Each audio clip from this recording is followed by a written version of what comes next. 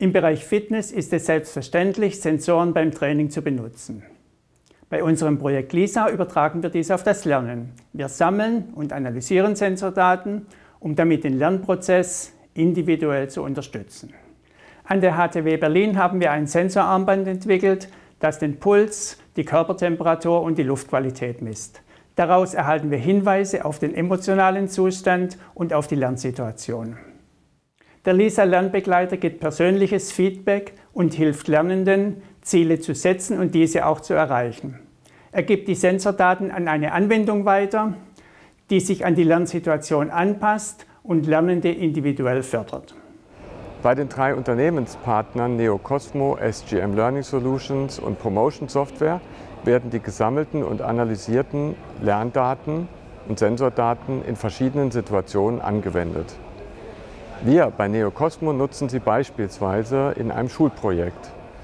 Über 1000 äh, Schüler äh, haben äh, sich zum Digitalisierungsexperten weiterentwickelt und dabei wurden sie individuell auf Basis der Sensordaten angeleitet und ihnen Lernempfehlungen ausgesprochen.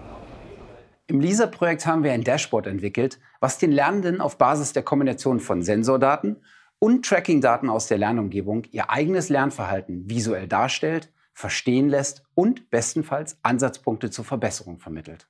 Promotion Software entwickelt einen Demonstrator, der mit den Präsentationsmöglichkeiten eines kommerziellen Computerspiels arbeitet und Lerninhalte im Bereich Rettungsdienst, Feuerwehr und Polizei vermittelt. Das Sensorfeedback verwenden wir dabei zur Steuerung der Intensität. Im Projekt LISA wird die psychologische und didaktische Forschung vom Leibniz-Institut für Wissensmedien in Tübingen und von der Humboldt-Universität zu Berlin durchgeführt.